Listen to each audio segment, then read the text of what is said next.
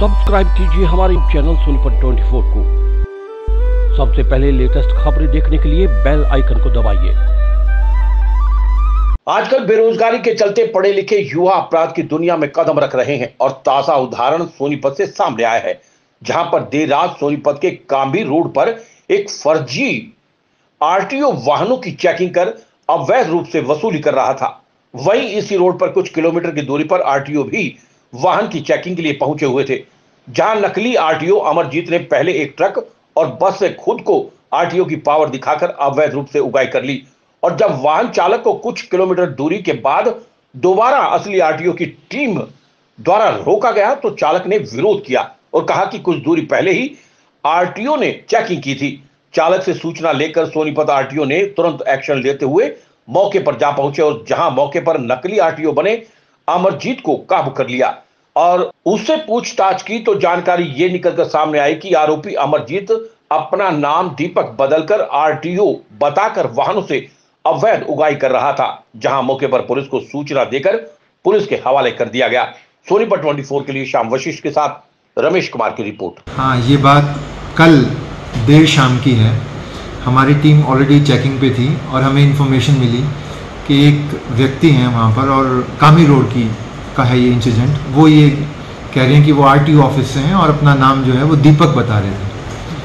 तो क्योंकि हमारी टीम उसके पास ही थी तो दो ही मिनट में हम लोग वहाँ पहुँच गए। और जब उनसे पूछा तो वो हमारे डिपार्टमेंट से लिंक नहीं थे और वो फेक थे।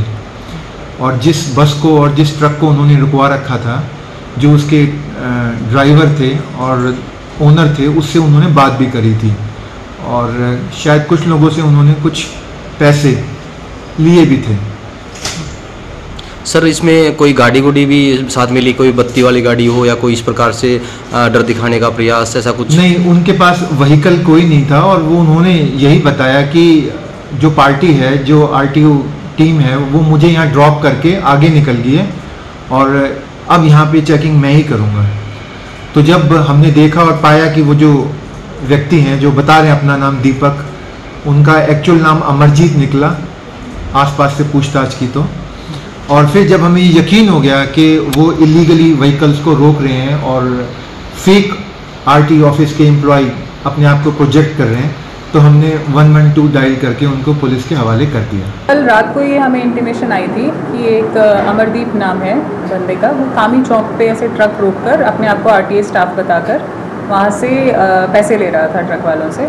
तो ये हमारी संज्ञान में आया तो हमने उसको अरेस्ट किया है और प्रॉपर एफआईआर की गई है उसके अगेंस्ट मैम कब से ये कर रहा था और कहाँ कहाँ का रहने वाला है? सोनीपत का ही रहने वाला है और ये कामी चौक पे ही बता रहे हैं कि कुछ दिनों से ये एक्टिविटी उसकी चल रही थी। इस इनसे क्या रिकवरी हुई है? और इससे पहले कितनी वारदातों को अंजाम दिया इसका अभी पाँच हज़ार रुपये रिकवर हुए हैं कि उसके पास से। और अ, सुनने में आया है कि पहले भी इसने कुछ दिनों से यहाँ पे एक्टिविटी कर रहा था। तो बाकी जो है अभी इन्वेस्टिगेशन चल रही है। उसके बाद बता हैं? पाएँगे। हाँ जी। दस्तावेज़ भी कोई मिले हैं मैम कोई आई कार्ड वगैरह कुछ ऐसा? कहाँ तक कहाँ तक पढ़ा हुआ? है? पढ़ा हुआ है तो ये अच्छा पढ़ा हुआ है बता रहे हैं कि ग्रेजुएशन किया है इनफैक्ट मास्टर्स भी किया हुआ है। प्रारंभिक जाँच में कुछ ऐसा बताया हो कि कि- किन कारणों के चलते ये नकली आर बना?